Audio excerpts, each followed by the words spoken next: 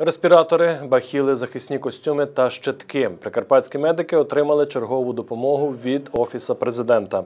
Цього разу найнеобхідніше передали в Івано-Франківську обласну клінічну інфекційну лікарню.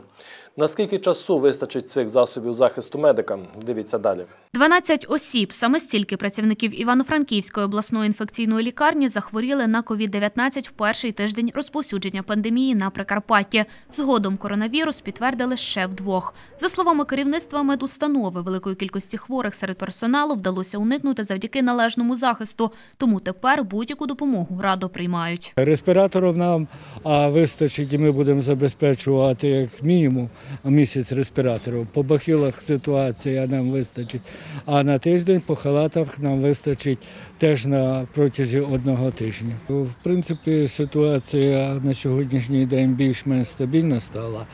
А от е, по ковіду думаю, що завдяки тим мірам карантину Обласна інфекційна лікарня є одним із основних закладів, де приймають людей з коронавірусом. Наразі в медустанові перебувають 66 інфікованих пацієнтів. І наша увага е, саме до цієї лікарні є однією з найбільших. Ми одразу в березні спрямували кошти і обласного бюджету як на заробітну плату, так і на е, антибіотики, так і на засоби захисту. Е, Теж була сюди першочергова наша увага. Допомогу медзаклади області представники уряду передаватимуть і надалі. Чергова партія засобів захисту мала б надійти впродовж двох тижнів.